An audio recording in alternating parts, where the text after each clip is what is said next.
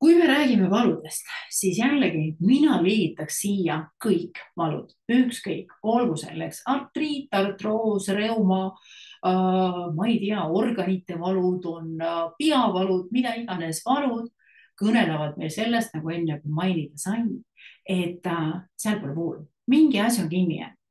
ja kinni jääda meil saavad sellised asjad nagu veri, vereringe lümfiringe, no lümfiringe on hästi kõnekas, sellest saab kohe aru, kus kohas on turse, siis seal järelikult lümfimool on äh, millegi tõttu tappama jäänud. aga meil on veel kaks voolavat süsteemi meie kehas, on siis närvisüsteem ja fassia ja kui ma nüüd äh, võtaks need äh, voolavad asjad ehk siis vereringe ja lümfiringe nagu ühe sellise käsitlusega, siis närvid ja fassia on tegelikult nüüd ühe põllumaasikad. miks?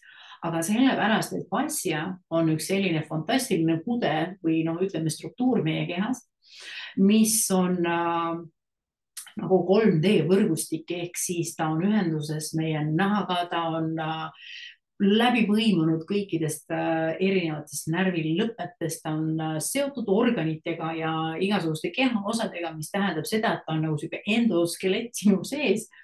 et ta äh, siin just eriti hästi töötavad erinevad kehapuudutused ja loomulikult soojus. ehk siis fassia